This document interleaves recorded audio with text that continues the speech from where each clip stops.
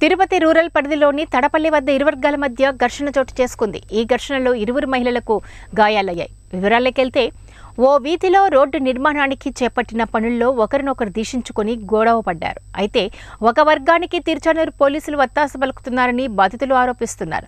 ఆ వర్గంపై పోలీసులు దాడి చేశారంటూ తిరుపతి అర్బన్ ఎస్పీ వెంకట అప్పలనాయుడును కలిసి ఫిర్యాదు చేసేందుకు పూనుకున్నారు.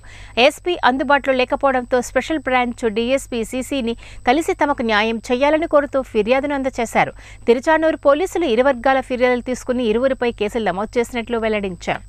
వాళ్ళంతా వచ్చి మమ్మల్ని కూడా చేయలేదు సార్ ఏమని? ఎంక్వైరీ చేయకుండా మా వాళ్ళని తీసుకుని పెట్టేసి వాళ్ళు అసలు తాకాల్సిన ఏంటి అసలు ఏం జరిగిందని చూసుకున్నారా?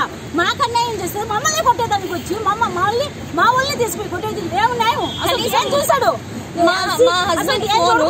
మా హస్బెండ్ ఫోను మా డాడీ ఫోను మా మామ ఫోను ముగ్గురు ఫోన్లు పెట్టుకొని ఆయన ఏం జరిగిందని నేను చూపించినాను కూడా అండి ఆమె కళ్యాణి అనే ఒక లేడీ వచ్చి కొరికేసింది